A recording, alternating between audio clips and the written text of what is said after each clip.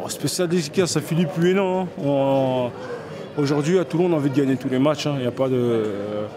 Et oui, on, est content quand même que Philippe il parte sur une bonne note parce qu'il a apporté pas mal au club. On fait une demi-finale championnat de France, euh, une finale de challenge européen-. C'était des bons moments.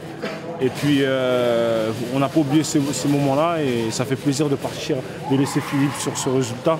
Même s'il n'y a pas eu d'essai encore. Euh, non, non, on est content. Aujourd'hui, on était dans l'engagement, on était présent comme la semaine dernière. On a réussi à faire deux, matchs d'affilée dans l'engagement, c'est bien. Moi, je suis, content du, groupe.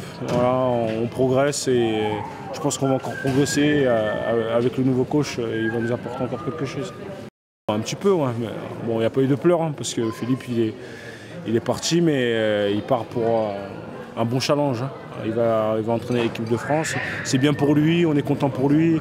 Non, non, c'est que de la joie aujourd'hui. C'est pas la tristesse parce que bon, il, habite toujours à Toulon. On le verra un petit peu. Il viendra nous voir euh, jouer. euh, il est à côté. hein. L'homme, on, a appris à le connaître. On, l'apprécie maintenant. On va le voir. euh, il, va, venir nous voir. Mais cette fois-ci, maintenant qu'il est plus coach, on va pouvoir le taquiner un peu. Voilà.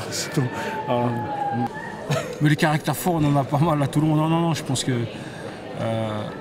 le coach, euh, Monsieur Laporte, euh, moi, je ne connais pas personnellement. On va voir, on va apprendre à connaître, il va apprendre à, connaître les joueurs. Mais je, sens que ça va bien se passer. Il va apporter quelque chose au, euh, groupe. Et non, non, non. Bon, maintenant, j'attends avec impatience lundi pour,